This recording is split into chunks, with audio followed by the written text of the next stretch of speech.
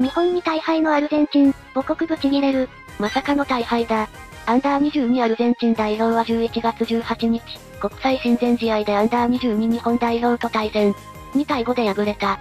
先制を許す展開も、パブロ・ソラリとティアゴ・アルマダのゴールで逆転に成功する。だが、その後に4失点。日本の猛攻に耐えられなかった。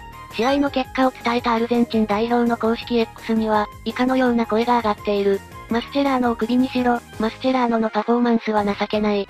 アンダー20の時と同じように、アンダー23も同じように破壊して終わりそうだ。マスチェラーノの監督としての失態は、もう終わりにしてほしい。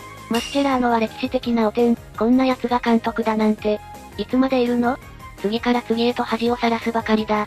南米勢の誇りとして、アジアの島国に敗れた母国ファンの怒りは収まらず、とりわけ指揮官への厳しい言葉が並んだ。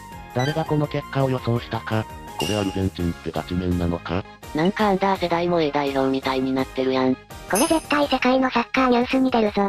南米に5点は嘘みたいだな？こんなマスチェラーの見たくない。そもそも監督だったことに驚き。大岩はこれで調子乗るよな。実際この世代で A 代表いけるやつおるんか？富安さんの憧れがマスチェだったよねこちらは世界のフットボール2チャンネルです。